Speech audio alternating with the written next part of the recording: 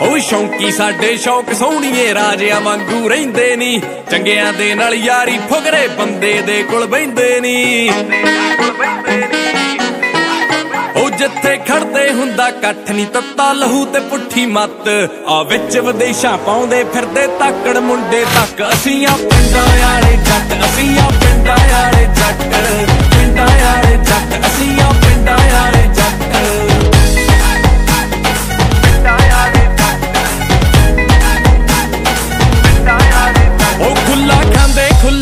ਖੁੱਲਾ ਨਹੀਂ 20 20 ਘੰਟੇ ਪੌਂਡ ਕਮਾਉਂਦੇ।